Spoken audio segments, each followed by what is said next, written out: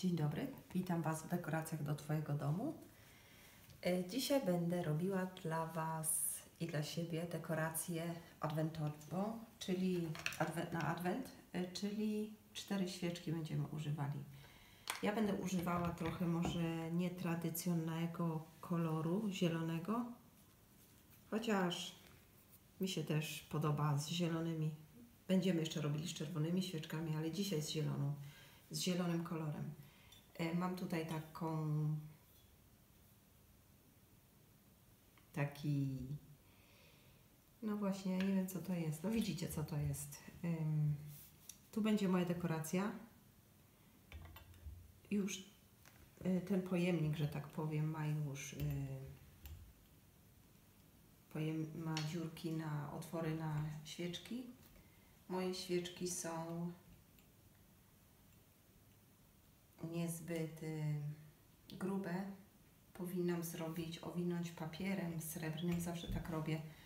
No ale to jest tylko jak na razie, to jest tak prowizorycznie, bo to jeszcze do adwentu jeszcze jest trochę czasu.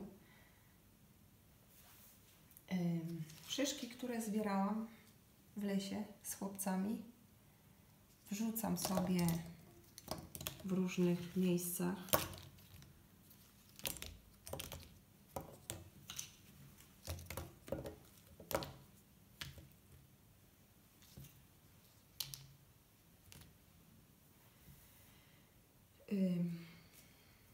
Gałązki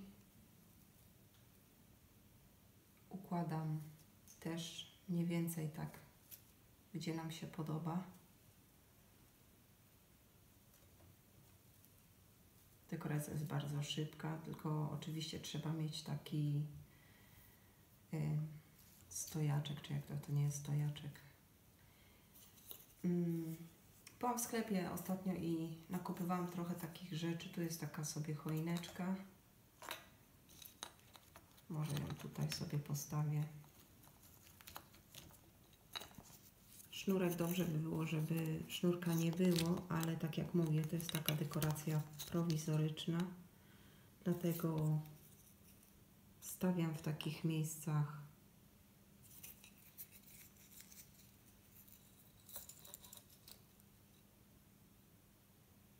takich miejscach, y, gdzie przypadnie i właśnie z tym sznurkiem, bo wtedy będę dekoracje nowe robiła i to mi się jeszcze przyda, sobie myślę, do następnego razu. Także dlatego tych sznureczków nie obcinam, ale oczywiście fajnie by było, żeby było obcięte, chociaż to nie przeszkadza, bo aż takich nie widać, a dekoracja, dekoracja jest mocno, mocno naturalna.